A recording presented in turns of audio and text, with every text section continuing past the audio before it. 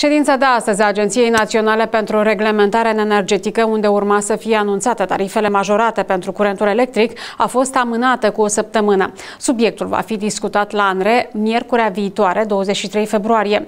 Instituția a precizat că a amânat ședința deoarece trebuie să examineze noi date și informații recepționate de la furnizori. Agenția Națională pentru Reglementare Energetică a prezentat anterior propriile calcule cu privire la scumpirea tarifelor pentru energie electrică în baza documentelor depuse de distribuitorii din țară. Astfel, pentru consumatorii din centrul și sudul țării, noul tarif urma să fie majorat până la 2 lei și 16 bani pentru un kWh fără TVA, iar pentru locuitorii din nordul țării se propunea un tarif nou de 2 lei și 46 de bani pentru un kWh. Acestea urmau să fie aprobate la ședința de astăzi, care a fost amânată pentru săptămâna viitoare.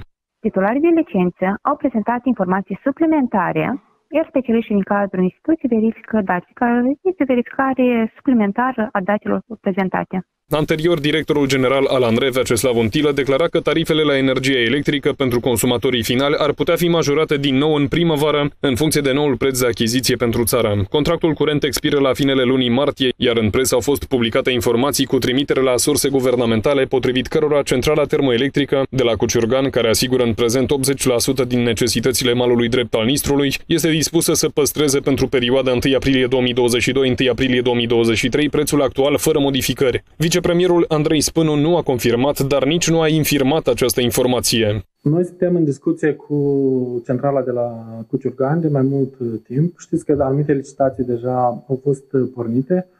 Uh, dacă va fi anumite schimbări în acest proces, proces de licitare sau de prelungire a contractelor, vom ieși și vom comunica. La moment nu este o decizie finală luată în acest sens.